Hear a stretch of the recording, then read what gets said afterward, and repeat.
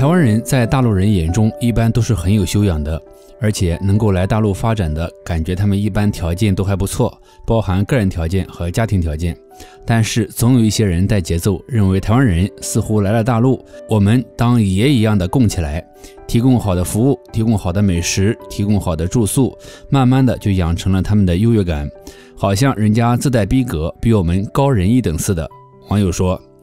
为什么现在大陆年轻人这么反感台湾人？其实就是从小时候被教育台湾是我们的亲人，宝岛台湾、阿里山、日月潭等，长大后发现国家给台湾这么多优惠政策，人家根本不领情，热脸贴冷屁股，我拿你当兄弟，你拿我当敌人，这种落差很伤人。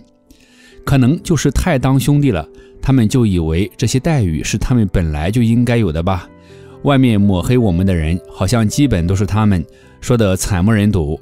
骂中国最狠的不是日本人，也不是美国人，百分之八十都是台湾的。怎么这么没有自信的吗？天天抹黑造谣。的确，我们现在也是越看越讨厌自己国家，还有那么多贫困地区都没有普及到这么好的条件，给他们不领情，还倒打一把，真的气死了。小时候我也觉得，就是中国的现在实在是不领情，就让他们自生自灭吧。实际上是如此吗？小周想说，至少在我周边，对台湾人并不是这样的看法。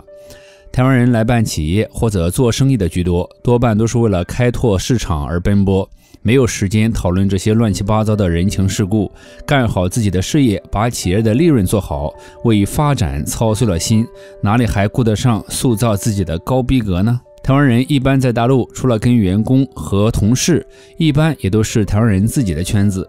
因为其接受的教育大多是在台湾，所以非常的随和，而且具备一定的沟通和协作能力。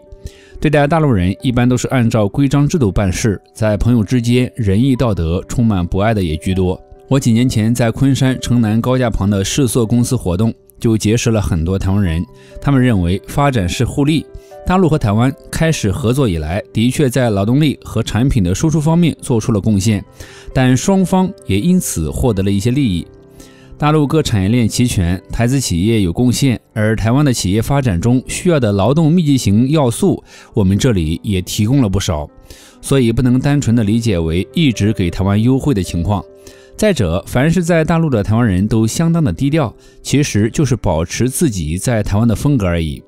有时候，昆山南站很多骑自行车的，或者是开电动车的，都是台湾很有钱的人。其实有一部分我们是真的看不出来。在我们的印象中，好像台湾人都是老板，应该开着宾利、奔驰等豪车，所以我们自己可能会有给别人戴上优越感、高逼格的帽子的倾向性。那么，我们为什么会有这种感觉呢？主要是反差和穷。教育从小到大都描绘台湾有多么好，多么好，只是暂时不在祖国的怀抱。长大后发现，台湾其实不像我们想的那么样，特别是价值观跟我们几乎是完全不同的，认知水平都不在一个层面，所以不太敢承认这种落差。而且人家的价值观会慢慢的刺痛我们的每一根神经，再加上很多大陆人都是过过苦日子的，看到台湾人在大陆都可以拿高工资，都可以做企业做小领导，还可以投资，心理上是非常不平衡的。同样是人，怎么差距这么大呢？台湾人可以办企业投资，难道我们就不可以吗？我们仅仅是人家工厂里的一个普通小卒，什么时候才能翻身呢？这种差距让很多人产生了错觉，实际上都是自我感觉。人与人之间一定会存在先天的起步差距，但是人格上没有任何一个人会觉得不平等。多数台湾人在小周的接触范围内，基本都是这种，其他的我不太了解，大家可以说一下。台湾的修车工在无锡的广瑞汽配城依然受到人们的尊敬，靠的是手艺和诚信。他们在大陆和台湾都是一样的，只是因为人家提供了很好的服务。他跟郭台铭这种大老板，我始终认为都是平等的，只是从事的行业不同、规模不同而已。但是在很多大陆人的心目中，郭台铭来了大陆，那就是市委书记和领导接待，好好的哄一哄富士康，多照顾一下本地的经济吧。而修车工想见个区长都难。别说市委书记了，所以立刻就在地位上给出了不平等的看法，这都是人的思想在作怪。其实和现在对待台湾的部分企业有什么区别呢？台资企业能够创造就业岗位的，带来高额外汇的，那就欢迎高高供起来；稍微需要一些时间成长的，发展方面没有这么迅速的，就给出各种要满足的条件，否则滚蛋。到底是谁伤人呢？还有大陆人看台湾人，特别是还用钱来衡量，有钱的就是有优越感的，他就有高逼格；没钱就什么都不是。我真的很难理解这种思想，所以我一直反思，凭什么我们不能把健康、把善良、把宽容始终放在前面呢？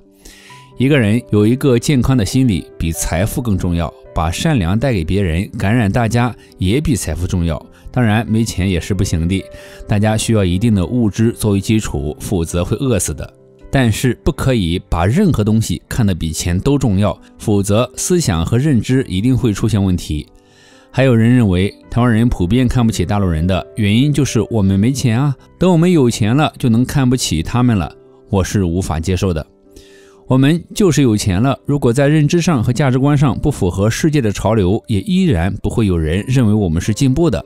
有一位网友说的话，大家可以听一听。看得起，看不起都很正常。看看人家到底是接触了大陆些什么，就像是知乎里每天一堆人狂骂美国，说美国没落，美国虚伪，美国人为什么羡慕中国人的幸福生活？